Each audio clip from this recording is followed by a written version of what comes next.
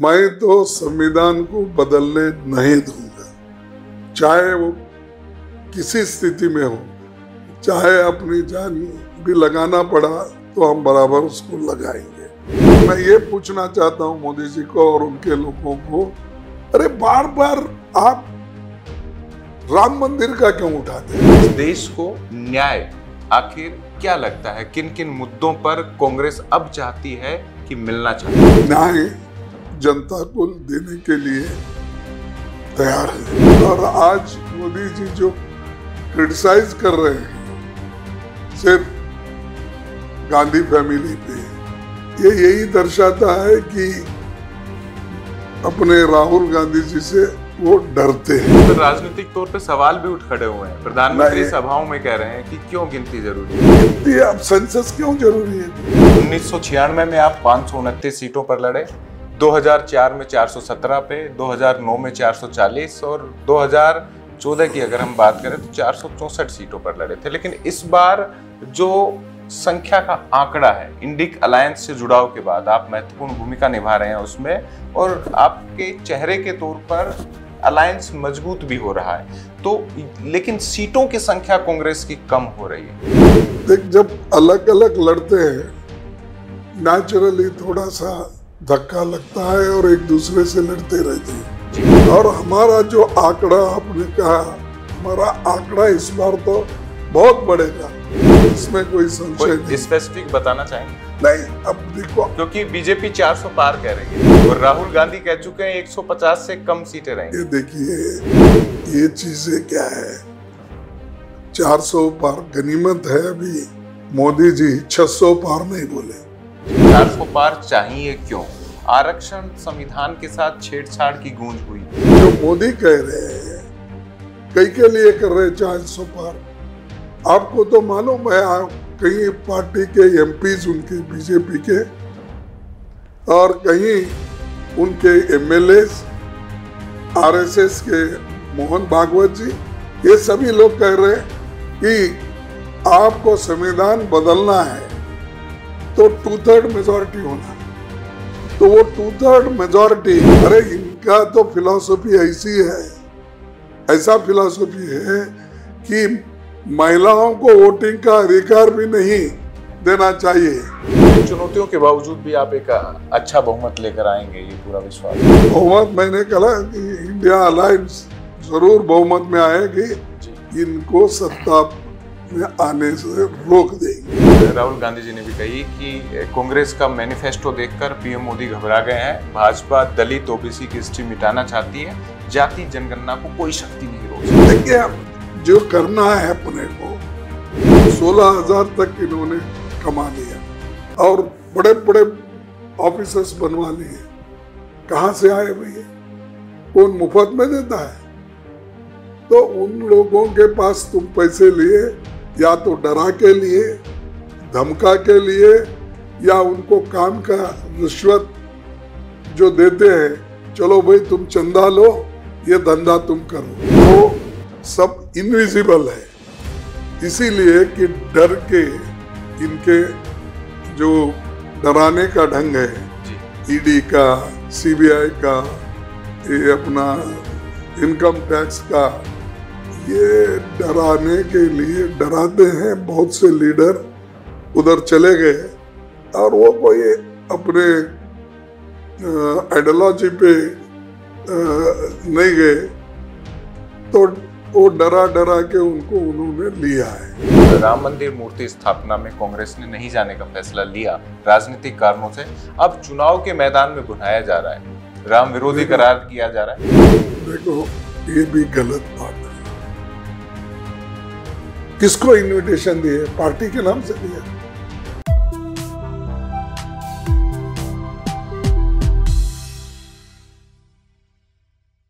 कर्नाटक के दलित परिवार का एक ऐसा चेहरा जिन्होंने बचपन में एक अग्नि विभीषिका देखी, सरकारी स्कूल में पढ़े, वकालत करके अपने हक हुकूक के साथ उन्होंने आवाम को राहत दिलाने की बात की। राजनीति में जब सीढ़ियाँ उनके सामने थी तो एक एक कदम ऐसे चढ़े कि देश की सबसे पुरानी प्रतिष्ठित राजनीतिक पार्टी के मुखिया बने। हमारे साथ है मल्लिकार्जुन खड़गे जी। राजस्थान चौक पर स्वागत है अध्यक्ष जी आपका। नमस्कार। राजस्थान बेहद करीब आपके दिल में भी रहा है और अब पूरा देश पर आपकी निगाहें हैं। बात करें वर्तमान चुनाव के हालात की तो इस चुनाव में एक प्रश्न पूरे देश के सामने है कि देश की सबसे प्रतिष्ठित पार्टी पिछले एक दशक से जिस पर रोज कोई ना कोई आघात बीजेपी या केंद्र सरकार कर रही है और अपने अस्तित्व की लड़ाई लड़ रही। आखिर कब तक जनता का इंतज़ार करेगी? क्यों कांग्रेस के सामने ऐसा वक्त आकर खड़ा हुआ? देखिए मैं एक कांग्रेस प्रेसिडेंट हूँ। दलित होना ये कोई मेरे हाथ में नहीं था। मैं दलित घराने में तो पैदा हो गया लेकिन मैं कांग्रेस पार्टी का एक सिपाही हूँ। जी। और कांग्रेस पार्टी को और उसके विचारधारा को मैंने अपने अपने आप को समर्पित किया है। और मैं चाहता हूँ कि कांग्रेस की आइडियोलॉजी को अगर हम बढ़ाएँगे, तभी देश में सुख, शांति और समृद्धि आएगी।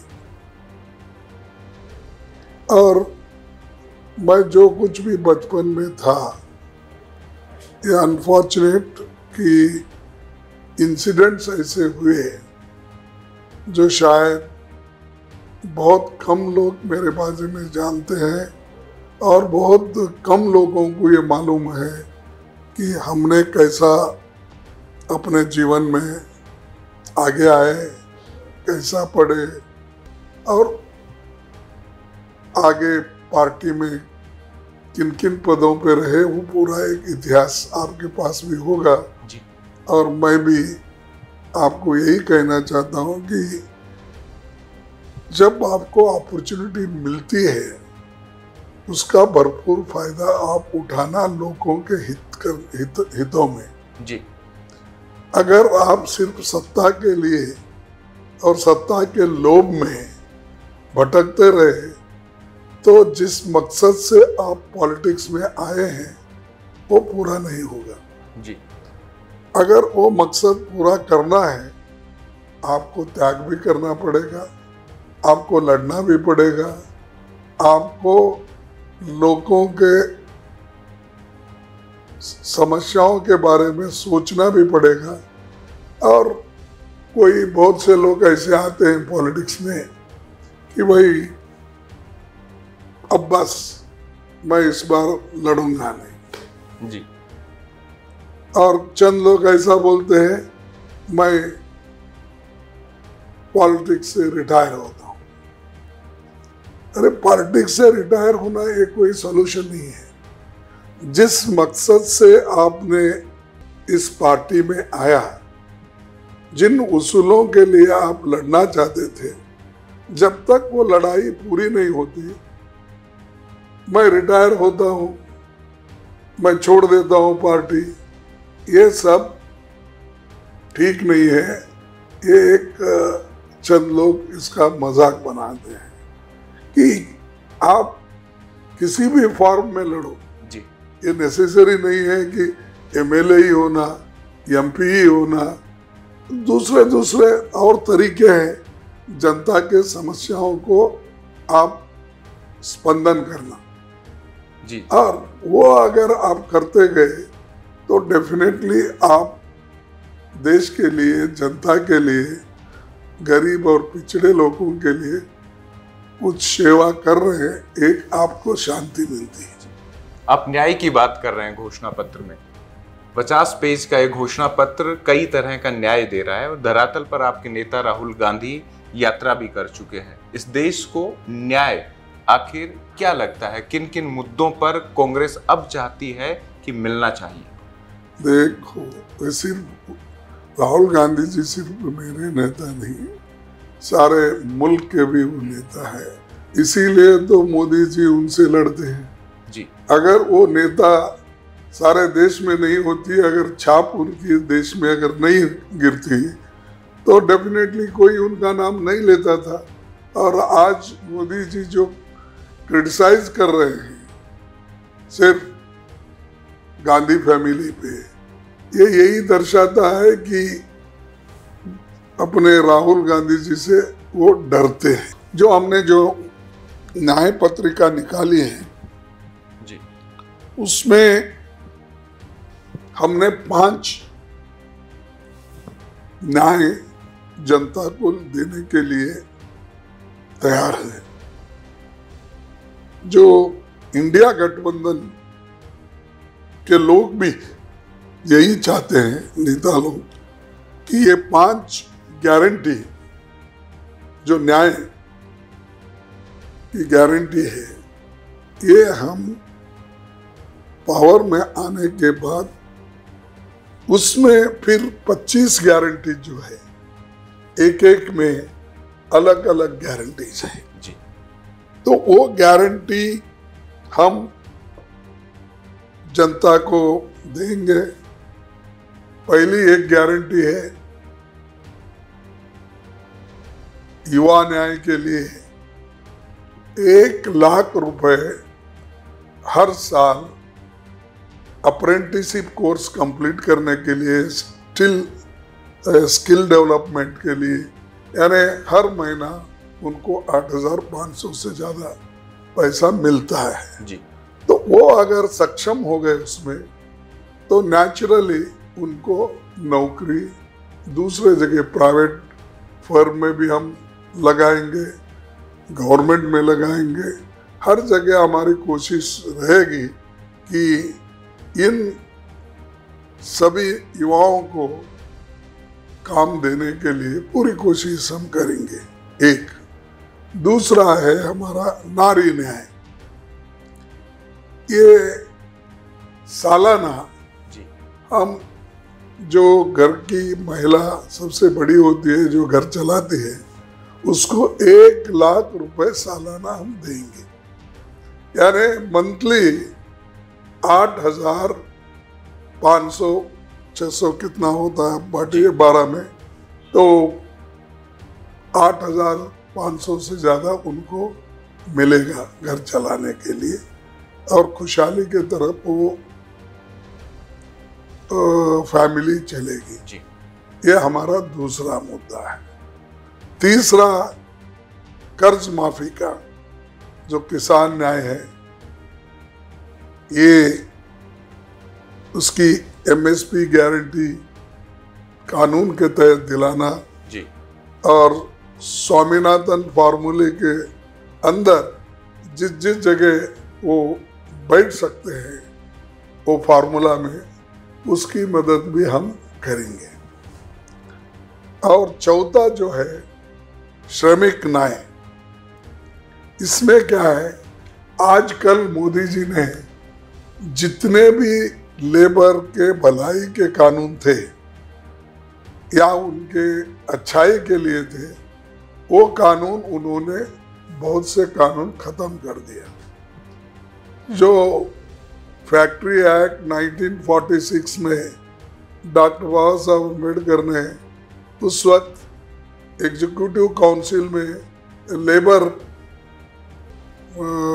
डिपार्टमेंट देखते थे। जी।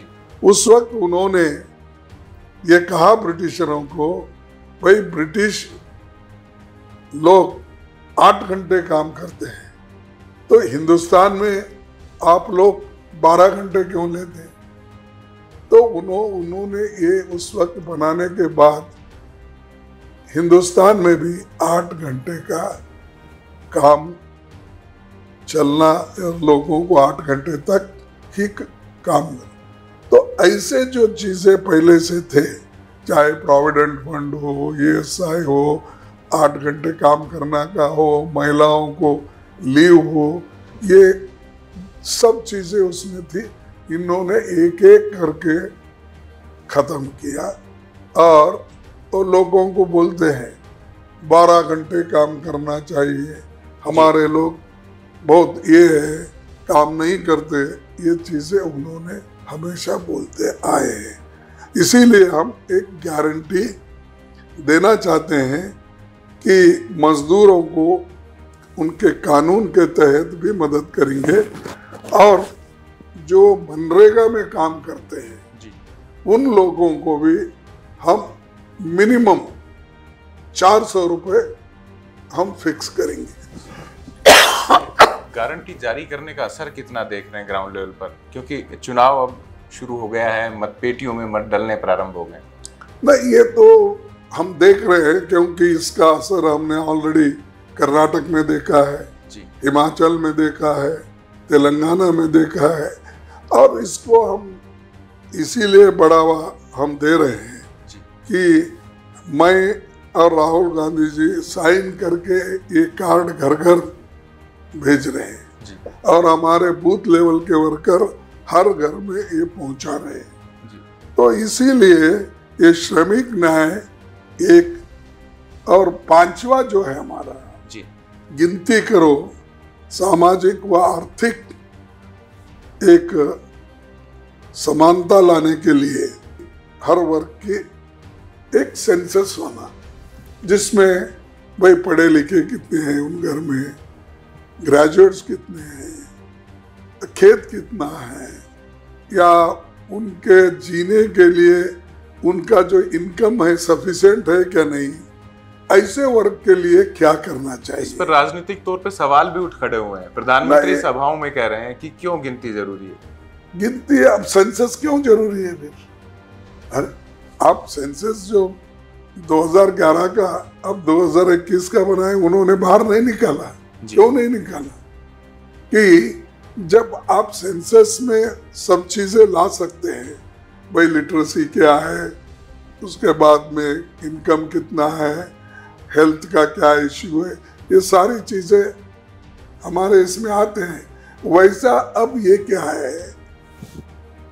जिन जिन लोगों को तकलीफ़ है और इन्होंने तो पंचवार्षिक योजना ही निकाल दी। पहले पंचवार्षिक योजना में क्या होता था कि कौन ये सेंसस के मुताबिक कौन किस वर्ग के लोग या किस यानी पॉवर्टी लाइन के नीचे जो है इन लोगों को किन किन चीज़ों की आवश्यकता है? एजुकेशन का स्किल डेवलपमेंट का ज़मीन का टेनेंसी का ये सारी चीज़ें आने के मालूम होने के बाद ही आप कुछ कर सकते हैं ना? जी। जो अगर आपके पास कोई डाटा नहीं है कोई मालूम नहीं है तो अंधेरे में थोड़ी आप प्लानिंग कर सकते हैं। जी। और इन्होंने तो वो पंचवार्षिक योजनाओं को निकाला। और नीति आयोग पाठ पढ़ा रहे उन्होंने सो नीति आयोग से आज तक एक नई पॉलिसी नहीं बनी जो गरीबों के बेनिफिट में गरीबों के लिए मिलना चाहिए। सर ये चर्चाओं में घोषणा पत्र भी और गारंटी कार्ड भी और जनता के बीच में लोकप्रिय भी हो रहा है लेकिन एक बड़ा सवाल यहाँ खड़ा हो जाता है। उन्नीस सौ छियानवे में आप पाँच सौ उनतीस सीटों पर लड़े 2004 में 417 पे 2009 में 440 और 2014 की अगर हम बात करें तो चार सीटों पर लड़े थे। लेकिन इस बार जो संख्या का आंकड़ा है, इंडिक अलायंस से जुड़ाव के बाद आप महत्वपूर्ण भूमिका निभा रहे हैं उसमें और आपके चेहरे के तौर पर अलायंस मज़बूत भी हो रहा है। तो लेकिन सीटों की संख्या कांग्रेस की कम हो रही है। देखिए ये पहले की बात है। जब हम इंडिया अलायंस बनाए हैं जी। तो हर स्टेट में एक तो रीजनल पार्टीज़ भी मज़बूत बने हैं और उनके साथ जो कांग्रेस पार्टी का अलायंस है वो भी मज़बूत है। और आप कहेंगे कि सीट घट रहे हैं। देख जब अलग अलग लड़ते हैं नेचुरली थोड़ा सा धक्का लगता है और एक दूसरे से लड़ते रहते हैं। जी। लेकिन इस बार हमने तय किया और आप पूछ रहे हैं कि आपके सीट कम लड़ रहे हैं कि हम ये चाहते हैं कि सबको स्पेस मिले जी। अब सबको जगह मिले और कहीं अगर हमको थोड़ा सा दिक्कत है थोड़ा सा हमको सेक्रीफाइस करना पड़ता है in the interest of unity हम वो स्पेस बहुत से हमारे साथियों को देकर मज़बूत बनाने का हम इरादा किए हैं। किसी हालत में मोदी जी को फिर से इस देश का प्रधानमंत्री नहीं बनने देंगे क्योंकि हम रोक रहे बीजेपी को और ये इंडिया अलायंस उसको रोकेगी। हम ये नहीं कहते सिर्फ़ मैं अकेला करूँगा मेरी पार्टी अकेले। हम सब मिलके उनको ज़रूर रोकेंगे। और हमारा जो आंकड़ा आपने कहा हमारा आंकड़ा इस बार तो बहुत बढ़ेगा। इसमें कोई संशय नहीं। स्पेसिफिक बताना चाहेंगे? नहीं अब देखो। क्योंकि बीजेपी 400 पार कह रही है और राहुल गांधी कह चुके हैं 150 से कम सीटें रहेंगी। ये देखिए ये चीज़ें क्या है? 400 पार गनीमत है अभी। मोदी जी 600 पार नहीं बोले। क्योंकि पार्लियामेंट की जो एमपी की संख्या होती है जी। पाँच सौ तिरतालीस। फाइव हंड्रेड फोर्टी थ्री अब वो ये नहीं बोले कि 600 पार। बहुशः उनको कोई कहे होंगे नहीं भाई कुछ कहना भी है तो आप ये पाँच सौ तिरतालीस के अंदर ही करो। तो इसीलिए वो 400 पार का आंकड़ा बता रहे हैं लेकिन इस बार 400 पार आंकड़ा उसको नहीं मिलेगा। जी। मैं वो ये कहूँगा कि जब हम उनको डिफीट दे रहे हैं और डिफीट देने के लिए जो संख्या होना चाहिए वो संख्या हमारे पास है। सो नेचुरली वो तो उससे कमी आएँगे ना ज़्यादा आने का सवाल ही नहीं है। जी। एक बड़ा सवाल इसी में खड़ा हो जाता है। जब 400 पार का नारा दिया गया तो एक बयान भी राजनीतिक तौर पर आया कि 400 पार चाहिए क्यों? आरक्षण संविधान के साथ छेड़छाड़ की गूंज हुई। कांग्रेस ने चुनावी सभाओं में इस मुद्दे को भुनाया भी है।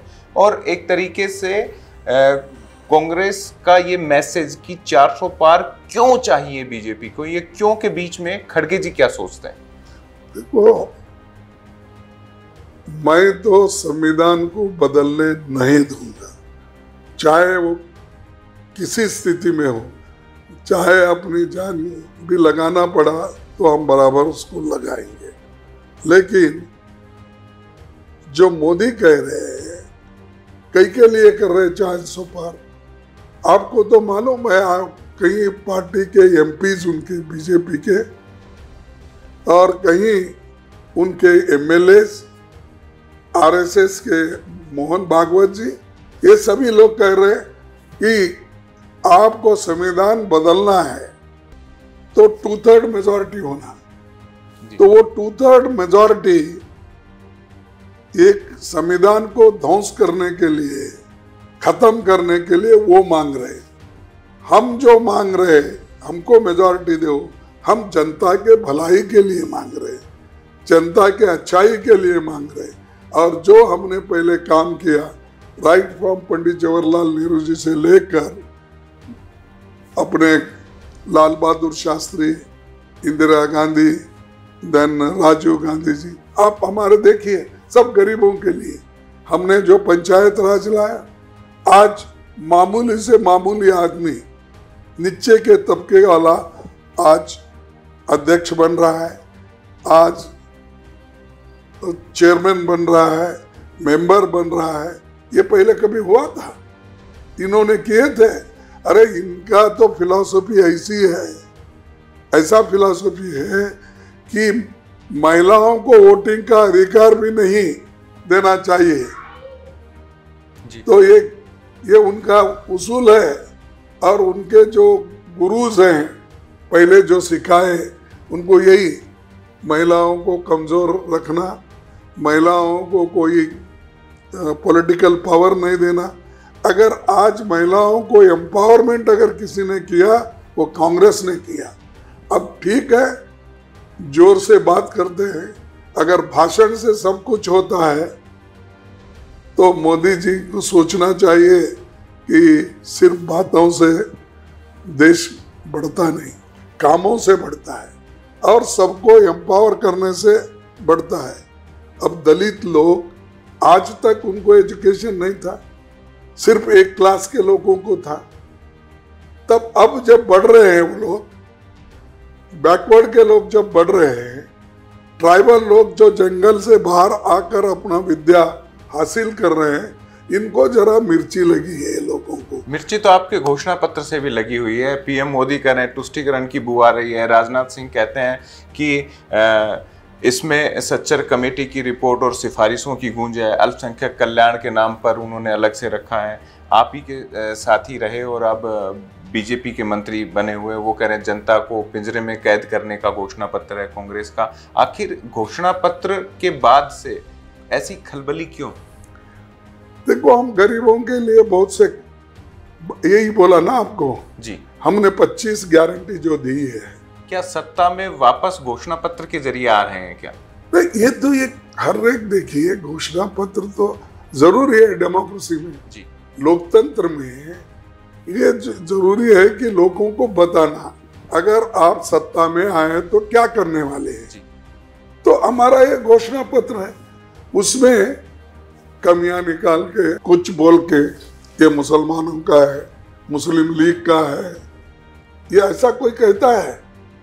तो ये जो है, जो लोग मुस्लिम लीग के साथ आज़ादी के पहले दोस्ती करके सत्ता में आए थे, वेस्ट बंगाल में, उधर सभी जगह, कॉरपोरेशनों में जीते थे, वही लोग हमको पाठ पढ़ा रहे एक और दूसरी चीज़ ये है, देश में देखिए, जब तक सारे सारे वर्ग के लोग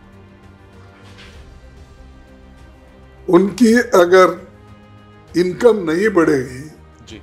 उनकी उनको अगर आप ताकत नहीं देंगे तो आप मुश्किल में पड़ जाएँगे। क्योंकि जो स्वातंत्र पहले जिस स्थिति थी वही लाना चाहते हैं आप।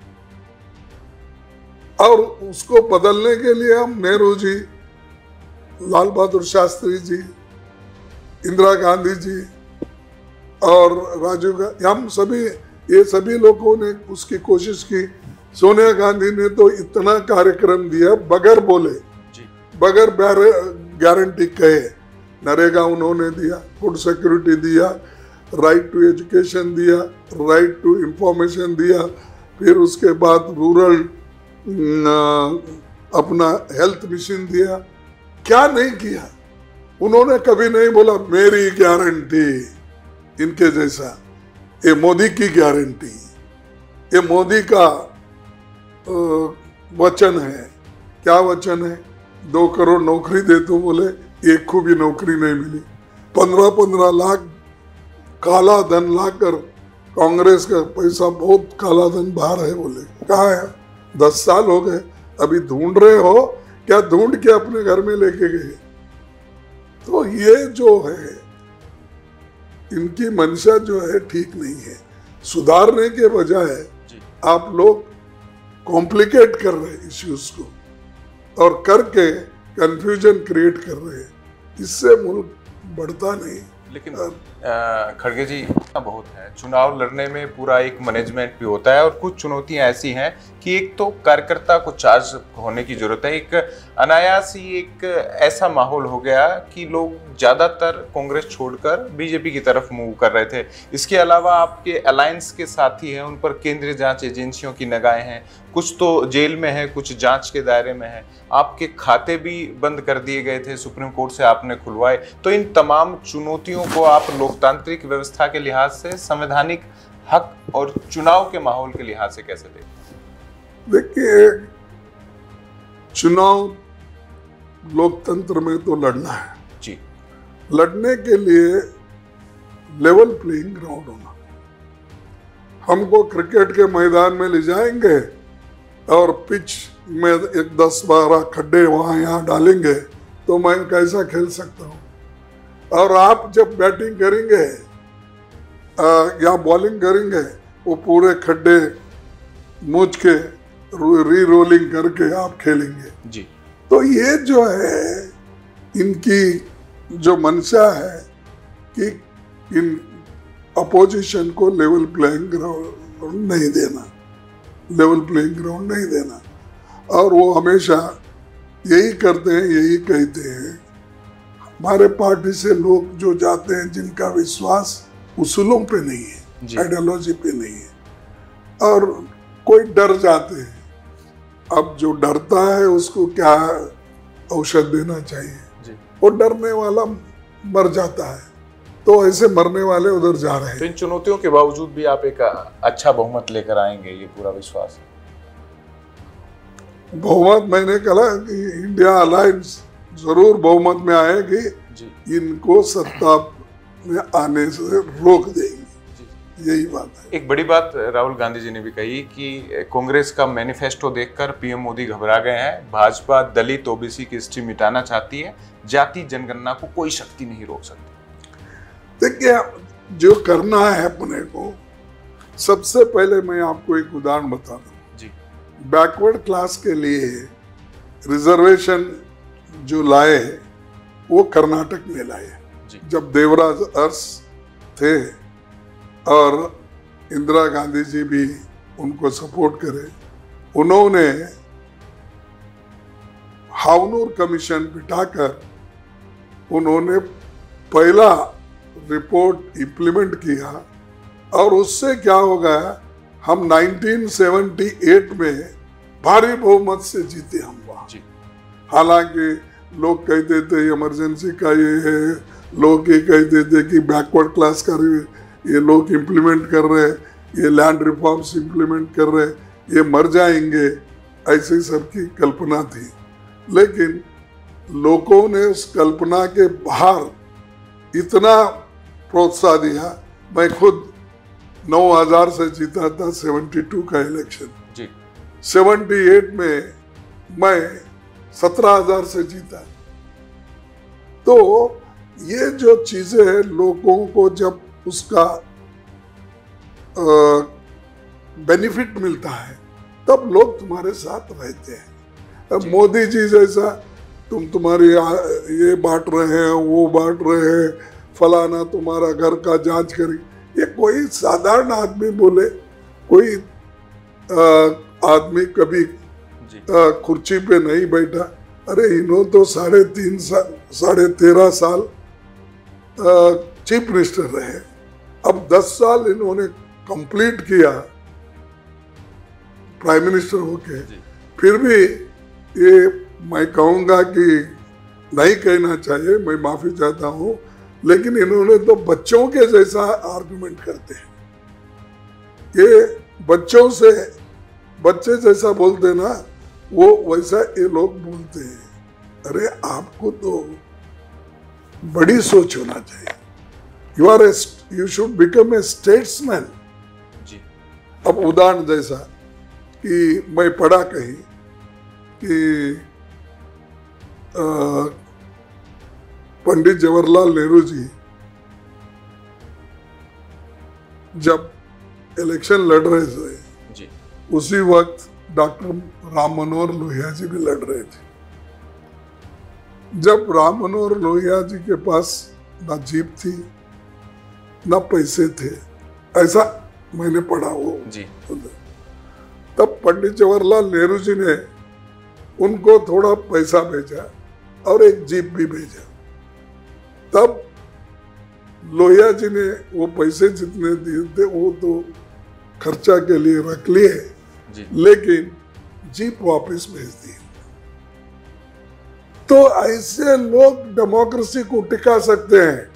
अपने दुश्मन सॉरी दुश्मन नहीं बोलता अपने विरोधियों को भी।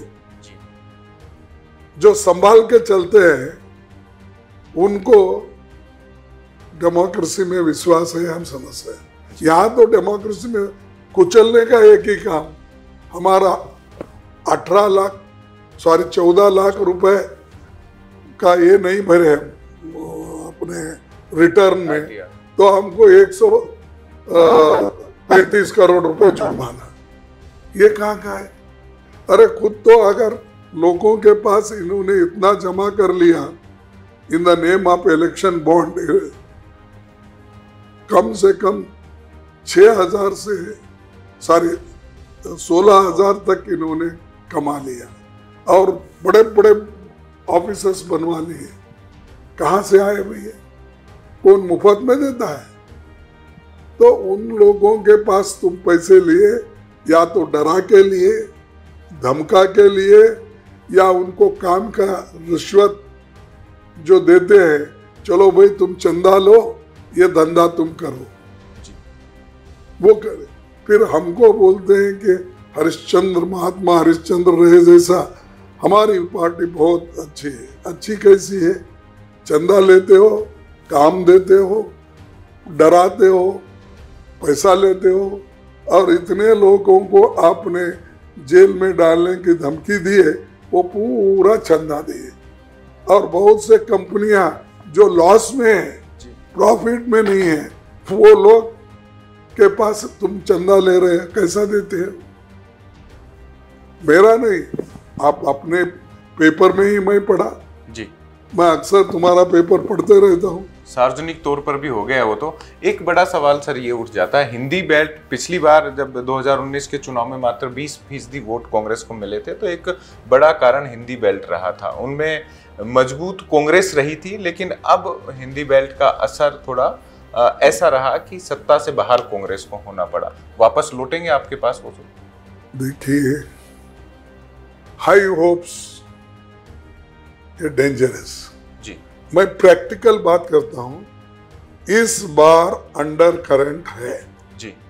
और हमारे वोटर्स जो हमको डालने वाले हैं वो सब इनविजिबल है। इसीलिए कि डर के इनके जो डराने का ढंग है ईडी का सीबीआई का ये अपना इनकम टैक्स का ये डराने के लिए डराते हैं बहुत से लीडर, उधर चले गए और वो कोई अपने आइडियोलॉजी पे नहीं गए। तो वो डरा डरा के उनको उन्होंने लिया है। तो इसीलिए वो ज़रूर हिंदी बेल्ट में अब इसके बाद आज के दिन, बरो इम्प्रूव होगा और हमारे पहले से ज़्यादा वोट हमको आपके जो नेता गए वो भी वापस आने की संभावना होगी? नहीं वो देखो जो गया गया आया राम गया राम बहुत होते हैं पॉलिटिक्स में। मैं तिरपन साल से एक ही पार्टी में हूँ। एक ही सिंबल पे चुन के आ रहा हूँ। गाय बछड़ा था उसके बाद में हाथ सिंबल था। जी। उसी पे अभी तिरपन साल से उसी में हूँ ना। जी। तो ऐसे भी लोग हैं जो पार्टी के लिए काम करते हैं और पार्टी के थ्रू लोगों की भलाई करने का सोचते हैं। ये लोग अपना सोच रहे हैं तो जा रहे हैं। एक बड़ा सवाल हिंदी बेल्ट का कर रहे थे हम ये भी कर लेते हैं कि जब राम मंदिर मूर्ति स्थापना में कांग्रेस ने नहीं जाने का फैसला लिया राजनीतिक कारणों से अब चुनाव के मैदान में बुनाया जा रहा है। राम विरोधी करार किया जा रहा है। देखो ये भी गलत बात है। किसको इनविटेशन दिए? पार्टी के नाम से दिया। जैसा ऑल पार्टी मीटिंग होती है हमारे बिज़नेस एडवाइजरी कमेटी में जी। उसमें पॉलिटिकल रिप्रेजेंटेटिव होता है। जी। राम मंदिर क्या पॉलिटिकल रिप्रेजेंटेटिव का था? क्या पार्टियों का सम्मेलन था? जी। वो उन्होंने उन्होंने मुझे अपोजिशन लीडर के नाते राज्यसभा का दिए। सोनिया गांधी जी को सीपीपी चेयरपर्सन उन्होंने दिया। इसमें पार्टी कहाँ आ गई? और मैं ये पूछना चाहता हूँ मोदी जी को और उनके लोगों को अरे बार बार आप राम मंदिर का क्यों उठाते हैं? उन्होंने तो मैनिफेस्टो में भी शामिल कर लिया है। तो- रामायण उत्सव मनाएँगे अयोध्या का विकास होगा। ये अयोध्या का एक ही विकास है। भगवान राम तो पूरा देश देख रहा दुनिया देख रहा ना? जी। तो आप क्या सीमित करना चाहते हैं कि अयोध्या में ही सब कुछ हो जाए? तो मैं मेरा कहना है बार बार हम लोगों को आप टीज मत करो। उसको क्या बोलते हैं हिंदी में? जी। अपने को पिंच करना परेशान करना। नहीं आप आप जो कह के हमको इंसल्ट जो कर रहे हैं ये ठीक नहीं। मैं पूछना चाहता हूँ, अगर आपको इतना ही प्यार है सबसे, और यूनिटी अगर आप चाहते हैं रिलीजियसली सब लोग एक रहना चाहते हैं, हिंदू धर्म एक रहना चाहते हैं तो मैं पूछता हूँ कि आप कोविंद को, जो हमारे राष्ट्रपति राष्ट्रपति रहे राष्ट्रपति रहे उनको पार्लियामेंट के फाउंडेशन के वक्त भी नहीं बुलाया गया। क्यों? वो तो वो इंडिया के ढांचे में कॉन्स्टिट्यूशन में उच्च पद पे नंबर वन है वो। जी। उनको आपने नहीं बुलाया क्योंकि वो शेड्यूल कास्ट है। उसके बाद जब उसका उद्घाटन हुआ उस वक्त उनको भी नहीं बुलाए मुर्मा जी को भी नहीं बुलाए और उसके फाउंडेशन वक्त को भी नहीं बुलाए तो ये क्या है? ये दर्शाता है कि संकुचित भावना और इन इन मुद्दों को लेकर आप पॉलिटिक्स करना चाहते हैं। मैं हो सकता है मुझे वो दिए हैं। मैं धन्यवाद देता हूँ। लेकिन क्या आप लोग मेरे पूरे लोगों को, दलितों को अंदर आने देंगे हर जगह। हर मंदिर में पहला ये सोचो और कहो, उसके बाद में बात करो। राम का इंसल्ट करे। अरे तुम तो इतने दलित लोग, अस्पृश्य लोग और आदिवासी लोग और जो बैकवर्ड्स के छोटे मोटे कम्युनिटीज हैं, उनका तो अपमान कर रहे हैं। अपमान करके और हमको बोलते हैं राम का अपमान। राम का हम अपमान क्यों करें? हर आदमी हमारे पास राम से शुरू होते जगजीवन राम। उन्होंने एक फ़ंक्शन में जो अपना विश्वविद्यालय हिंदू विश्वविद्यालय में वहाँ संपूर्णानंद की मूर्ति बिठाने का प्रोग्राम था तो उन्होंने इनाग्रेट करने को गया। बुलाया तो यही लोगों ने। लेकिन इनो इनाग्रेट करके बाहर निकलते ही गंगा जल लाकर उसको धो के उसका प्यूरिफिकेशन करें। अगर मैं जाता क्या एटीट्यूड रहता था इनका? सेम क्योंकि आपका एटीट्यूड अभी नहीं बदला ना। जी। मेरे को जो श्रद्धा है आपको जो श्रद्धा है उस भगवान को आप करो। उनको कौन मेरी श्रद्धा ऐसी है। हम कुछ करते हैं। और मैं हमने हमारे पार्टी के लोगों को बोला जो जाना है वो जा सकते हैं। उनका व्यक्तिगत वो श्रद्धा की बात है। और हमारे पार्टी के जो उत्तर प्रदेश के लीडर्स थे अध्यक्ष थे उन्होंने अपना पूरे लोगों को लेके राम दर्शन के लिए गए। लेकिन तुम वो मंदिर अभी भी कंप्लीट नहीं हुआ। वन थर्ड कंप्लीट हुआ है। उसको उद्घाटन करने गए क्या आप पुजारी है? मैं पूछता हूँ अरे वह साधु संत है। उनके हाथ से करो ना याग यज्ञ पूजा सब जो हमारे हिंदू संस्कृति में है जी। उसके तहत चलो ना। सब तुम ही भाग रहे हो। भगवान के मंदिरों का उद्घाटन तुम करते हो। पार्लियामेंट का उद्घाटन तुम ही करते हो। हर चीज़ अगर कोई होती है नहीं, उसका तुम किसी को भी अंदर आने नहीं देते। सिर्फ़ अकेला आदमी करता है। जैसा कि पॉलिटिक्स में ये मोदी की गारंटी है। ये मोदी है तो मुमकिन है खुद ही बोलते हैं। अरे भाई, आप बोलो ना अपनी पार्टी का नाम, क्योंकि ऐसा है देश में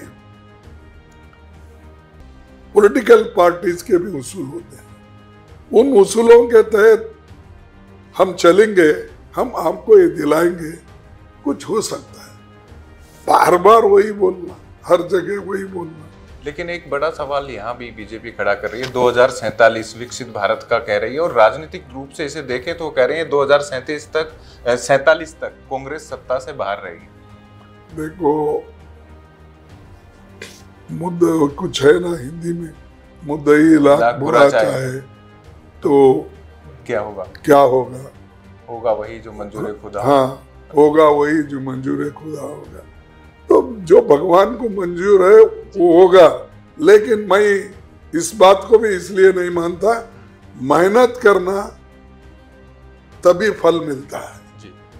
सिर्फ़ दुआई मांगने से सब कुछ नहीं मिलता। संत तुकाराम जी ने ये कहा है वो उनका मराठी में कुछ है नवसे पुत्र कन्या अस्ति तर पति लागणे काय कारण?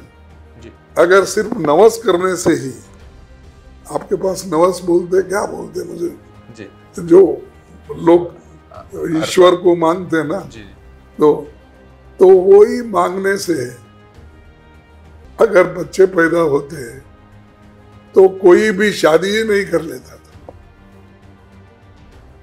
अपनी औलाद पैदा करने के लिए हर आदमी जाता था भगवान के मंदिर को चार आ, ये फेरे लगाता था था शादी ही नहीं कर लेता।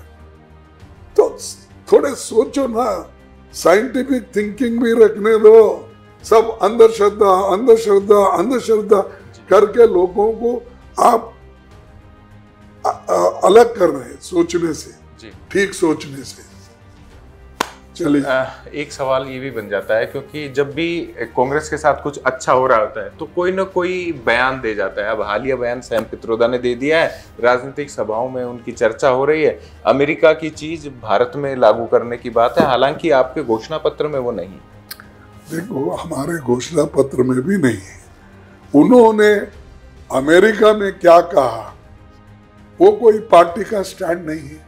जी। पार्टी का स्टैंड हमारे जो इलेक्शन मैनिफेस्टो में है, वो है। उसको आप इतना बड़ा चढ़ा के कर रहे हैं। देखे, आपके मंगलसूत्र छीनना चाहते हैं।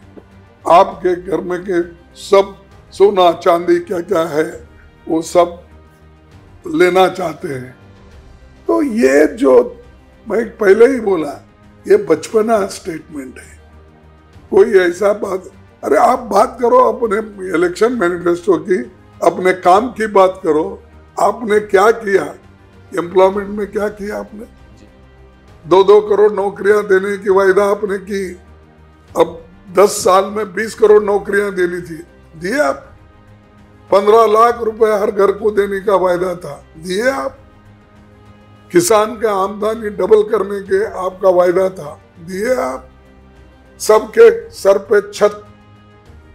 घर बनाने का सबको आपका वायदा था किए डीजल पेट्रोल ये जो गैस इसकी कीमतें कम करने के बजाय उन्होंने ज़्यादा कर दिया। क्रूड ऑयल की प्राइस गिर गई लेकिन इनके प्राइस बढ़ गए। तो ये ऐसे लोग देश की भलाई नहीं सोचते गरीबों की भलाई नहीं सोचते किसानों की भलाई नहीं सोचते। इसका मार किसको गिर रहा है? इसका मार तो किसानों को गिर रहा है। कीमतें बढ़ रहे हैं। और अगर इतने कीमतें बढ़ रहे हैं और लोगों की आमदनी घट रही है। महँगाई, बेरोजगारी तमाम मुद्दे हैं, सर।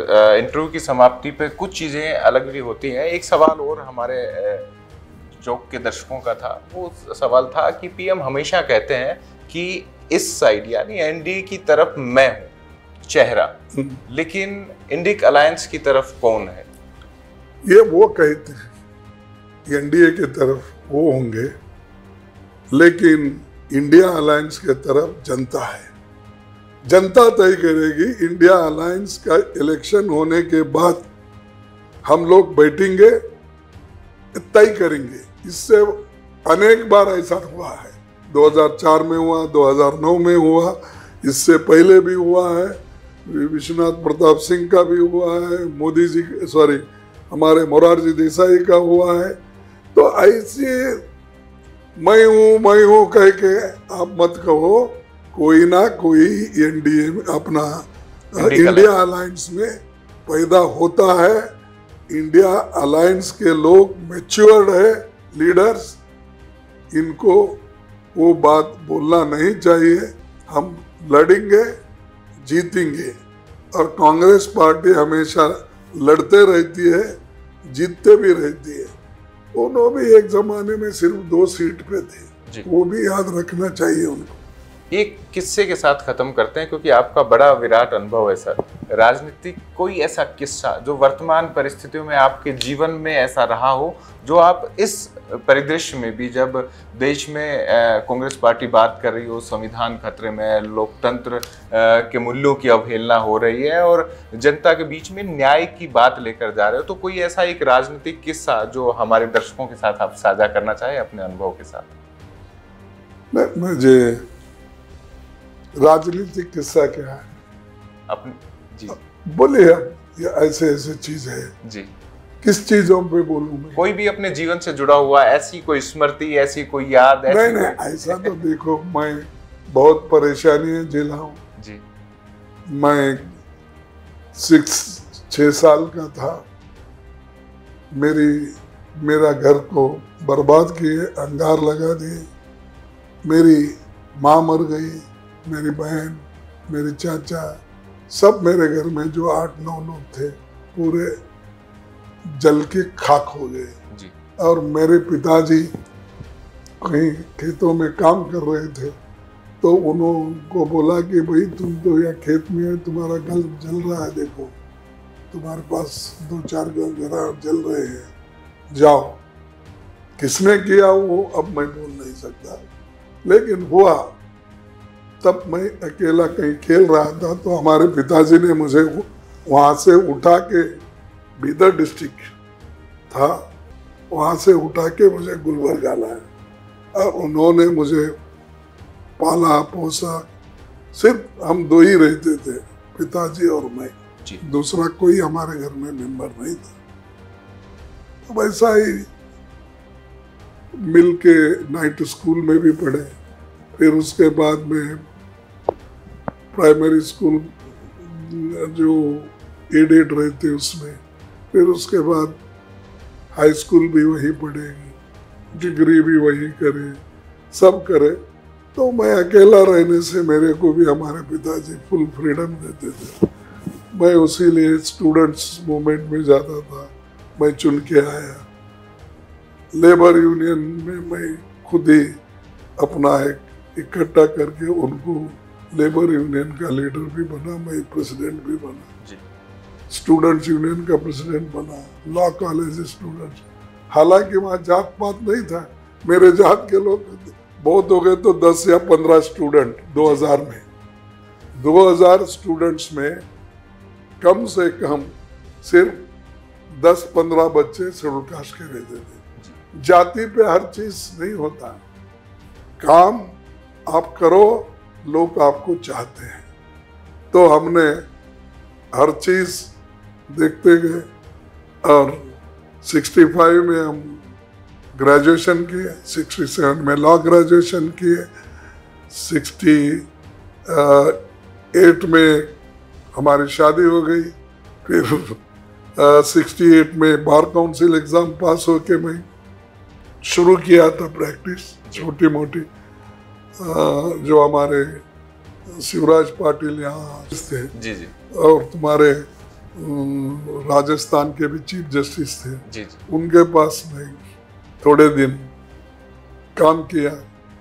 फिर 69 में कांग्रेस स्प्लिट हुआ तो मैडम गांधी जी वहाँ पर गुलबर्ग आए। आने के बाद उन्होंने जब आए तब सब यंग बच्चे थे दूसरे कोई नहीं थे क्योंकि डरते थे। उस वक्त सिंडिकेट की गवर्नमेंट थी। जी। तो कोई हम ही गए गए तो फिर एक महीने में दो महीने में मुझे ब्लॉक प्रेसिडेंट बनाया गया। ब्लॉक से फिर हम डिस्ट्रिक्ट में बने डिस्ट्रिक्ट बने एमएलए भी बने। ऐसा करते करते लंबी है मैं हमारा जी जी। जो रास्ता हमने जो रास्ता तय कराया यहाँ तक वो लोगों का प्रेम लोग चाहते हैं। उसी उसीलिए ये एक पद पे आए मैं लोगों का धन्यवाद करता हूँ। खासकर हमारी गुरमट कल जिस जगह से मेरे को नौ बार चुना है लोग जी। और गुलबर्गे के लोग चुने। टोटल मैं बारह इलेक्शन में ग्यारह इलेक्शन जीता। और उसके बाद अब राज्यसभा मेंबर रहा। भी मैं कम से कम दस साल सीएलपी लीडर रहा चार साल कांग्रेस प्रेसिडेंट रहा फिर अब कांग्रेस प्रेसिडेंट ऑल इंडिया का हूँ। तो ऐसा बहुत लंबी लिस्ट है मेरा। जी जी। और कभी मैं पॉलिटिक्स में डरा नहीं और पॉलिटिक्स में जो डरता है वो आना ही नहीं क्योंकि हमारा टारगेट रहता है कुछ चीज़ें वसूल करने के लिए यानी उन उन उसूलों पे चलने के लिए। तो वैसा हम चलते चलते आए और सोनिया गांधी जी ने हमको एक ज़िम्मेदारी दी है रिस्पॉन्सिबिलिटी तो उनको अ, एक उन्होंने जो भरोसा हम पे रखा है उसको निभाना ये ज़रूरी है। उसके लिए हम पूरी कोशिश करेंगे कि उनके नाम को भी दब्बा नहीं आना चाहिए और उन्होंने जो भरोसा हम पे रखा है उसको हम वो भरोसे को कायम रखें। जी thank you so much Mallikarjun खड़गे जी। थैंक यू मोहब्बत और न्याय का पैगाम कांग्रेस इस बार भारत की जनता को दे रही है। मल्लिकार्जुन खड़गे का भी स्पष्ट तौर पर कहना है कि चुनाव कांग्रेस पार्टी नहीं, उनके बिहाब पर ये जनता लड़ रही है। फैसला धीरे धीरे करके ईवीएम में कैद हो रहा। चार जून को खुलेगा तो एक बार फिर से कांग्रेस के राष्ट्रीय अध्यक्ष मल्लिकार्जुन खड़गे जी से रूबरू होने की कोशिश करेंगे। तब तक आप अपने मुद्दों पर, अपनी जरूरतों पर और इन सवालों पर बने रहिएगा। फ़िलहाल के लिए नमस्कार।